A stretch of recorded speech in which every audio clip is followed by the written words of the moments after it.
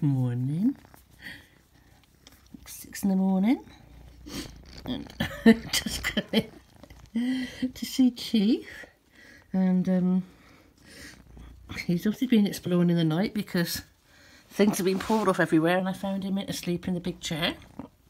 And I've literally just got his food and come to see him and as you can see, he's all over me.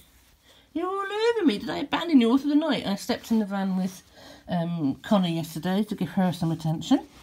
Because um, I did divide my time and with Connie having sleeping all day as well like he was and uh, she also goes out more in the daytime.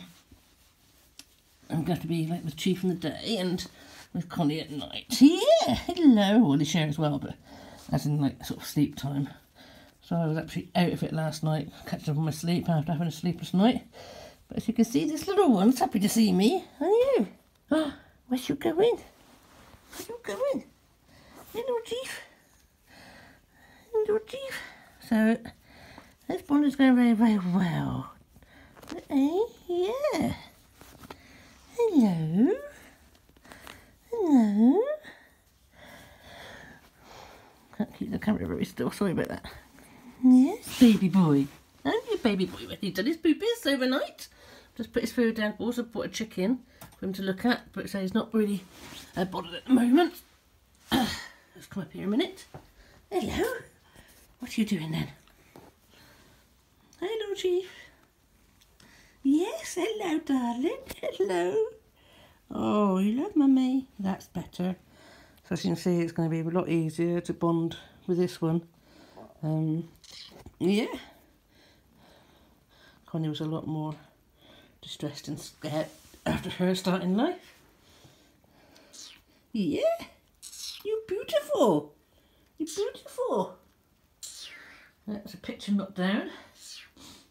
There's a fox on the floor. yeah, it's me and a fox. I've got a silver fox as well. I am actually a, a work shamanically. I have um, all sorts of animal hides and skins and things in the van and in here. This is my healing room. Um, but other than that, there's been no breakages. He was found in a Sticky's chair, which was nice. He was asleep in this corner of this Sticky's chair.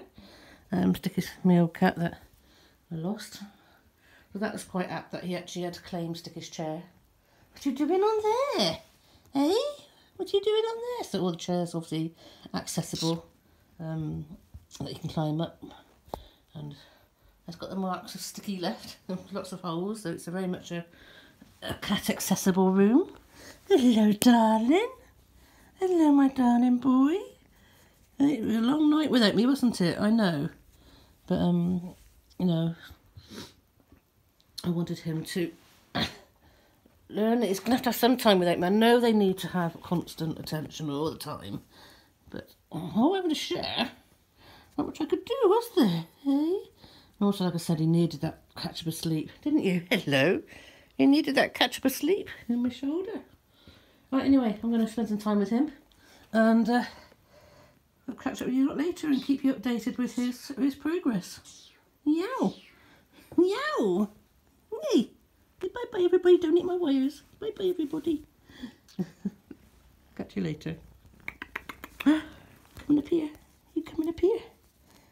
Yeah, good baby.